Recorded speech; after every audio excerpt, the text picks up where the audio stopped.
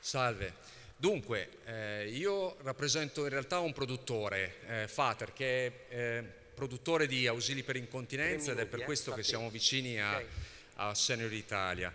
Eh, ed abbiamo questa, che ringrazio tra l'altro per concedermi questa opportunità, perché desideriamo sensibilizzare ancora di più le istituzioni presenti sull'inadeguata assistenza offerta ai pazienti incontinenti, ovvero ad oltre 4 milioni di nostri connazionali, per lo più 60, oltre, over 65, quindi sostanzialmente nonni come, come voi. Vi chiediamo di fare di più alle istituzioni e dal più presto per ottimizzare le risorse e migliorare le condizioni dei pazienti incontinenti per consentire a noi produttori di competere sulla qualità e non sul prezzo. A fronte di un'importante voce di spesa nel bilancio di ciascuna regione oggi, infatti, a causa di una normativa obsoleta nella definizione dei criteri qualitativi di selezione, il sistema delle gare centralizzate ha ridotto incredibilmente la qualità e la quantità degli ausili a disposizione di alcuni fra i pazienti più fragili.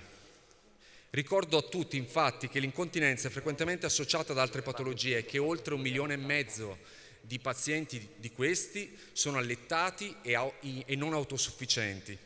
In sostanza, il sistema sanitario attraverso le centrali d'acquisto sta offrendo agli incontinenti pochi pannoloni e di scarsa qualità e non perché non siano disponibili innovazioni tecnologiche, ma perché le attuali procedure d'acquisto e le modalità di valutazione appiattiscono le differenze qualitative e di fatto valutando i dispositivi soltanto sulla base del prezzo.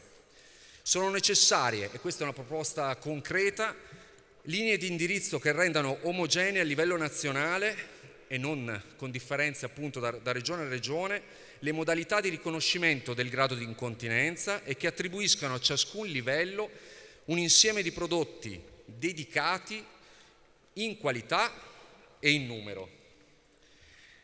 Da subito eh, le regioni pragmaticamente possono avviare sperimentazioni a favore della libera scelta, adottando procedure alternative d'acquisto che sono già previste nel codice degli appalti e che vedrebbe accreditati più fornitori, quindi non solo un unico fornitore, costringendo l'industria, tutti noi, a competere sulla qualità affine che voi ci scegliate e non soltanto sul, sul prezzo.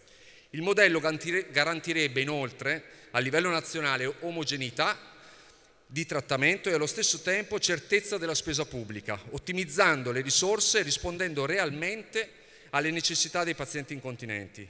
Secondo me questo è un piccolo passo in realtà per la lotta alla disabilità e se come ci si auspica è un passo verso l'ambito invecchiamento di successo. Grazie mille. Grazie e noi stiamo già lavorando affinché questo accada.